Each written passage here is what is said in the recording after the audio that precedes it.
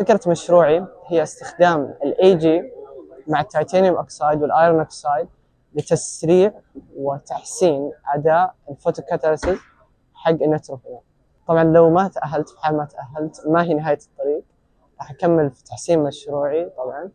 وفي الأول في الأخير أنا تعلمت كثير من البرنامج من الناحية العلمية وتعرفت على أشخاص وطورت من نفسي كثير. في حال تأهلت فهي حاجة كبيرة وإن شاء الله أقدر أحب أشكر موهبة على كل الفرص من ناحية البرامج الإثرائية اللي قدموها. وبرنامج إبداع اللي كان برنامج شاركت فيه مسبقا قبل كذا. وكانت مشاركة جميلة جدا والسنة هذه تأهلت للمعرض العلوم والهندسة وأحب أشكر موهبة على الفرص هذه كلها.